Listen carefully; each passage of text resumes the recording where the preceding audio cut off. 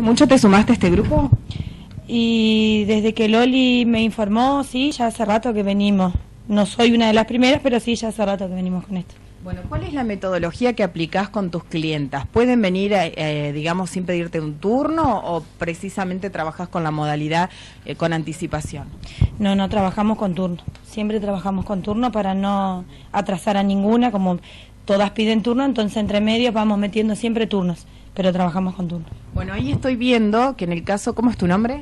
Verónica. Le hacemos participar a Verónica también. una buena cantidad de cabello.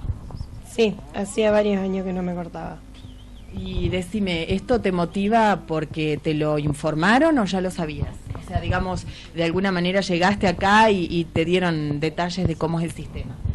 No, yo vine por renovarme y hacerme un corte y de paso lo voy a donar también que esta nota es improvisada, le contamos a la gente que llegamos justo en un momento, que eso está muy bueno también para que otros se sumen a esta propuesta. Eh, ¿Cómo tienen que hacer aquellos que deseen? Porque estuvimos hablando con Loli y hay mujeres y varones, o sea, no es algo que sea solamente del sector femenino. Sí, sí, a mí no me ha tocado varones, pero sí, la mayoría son mujeres y te consultan, primero te preguntan todo, que cuánto tienen que donar, siempre tienen el miedo de que por ahí le cortes mucho, te preguntan si puede ser pelo tenido o no, pero no, todo sirve. Mientras que sean 15 centímetros, todo pelo sirve. Sea tenido o no tenido, todo sirve. ¿Se cobra? Sí, sí, sí. El, el corte se cobra, depende. Eh, te explico por qué. Hay mujeres que vienen y quieren solamente cortarse el pelo sin la intención de donarlo. Nosotros, como vemos que ese pelo va a servir, lo recuperamos y lo donamos. Cuando vienen y piden turno exclusivamente para donar el pelo, ese sí, ese corte no se cobra. Es gratuito. Bien. Bueno, ¿cómo estás trabajando para todos aquellos que quieran aprovechar esta opción y te quieran ubicar?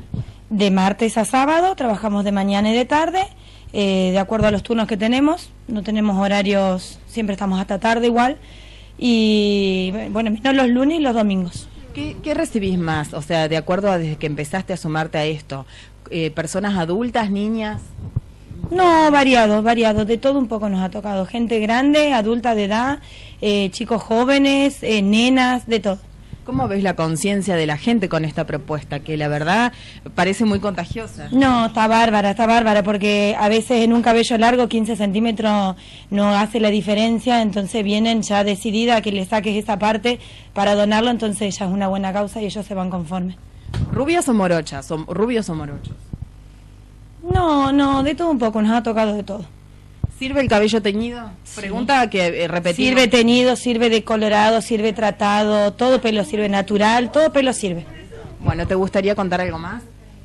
No, que todo el que se quiera sumar, nosotros estamos acá en la avenida Ceri, casi Moreno, eh, pueden venir y sacarse todas las dudas que quieran sacarse, no hay problema. ¿Cómo te sentís con esta eh, cruzada solidaria o con esta actitud que has tomado? ¿Es la primera vez que donas?